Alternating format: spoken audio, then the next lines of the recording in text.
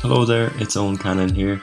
Today I'm going to be doing a TV review of Ryan Murphy's Ratched, which is available on Netflix from Friday, September 18th.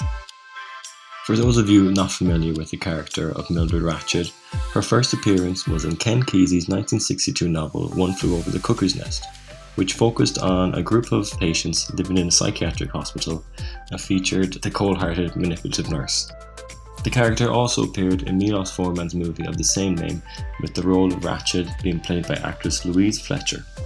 This time around, however, we're getting an origin story of the character, with Sarah Paulson playing the title role. We had a saying in the Corps save one life and you're a hero. Save a hundred lives. Well, then you're a nurse. When we first meet her, she's attempting to get a job in a hospital, and the series has that trademark Ryan Murphy charm.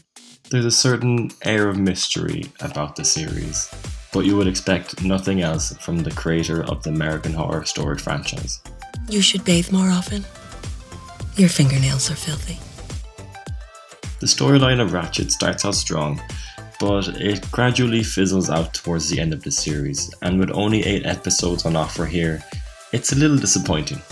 The main storyline of the series gets wrapped up pretty much halfway through, with the final few episodes feeling a bit thrown together in an attempt to set up the inevitable second season. What does keep you entertained and enthralled throughout Ratched, however, is the brilliantly cast supporting characters.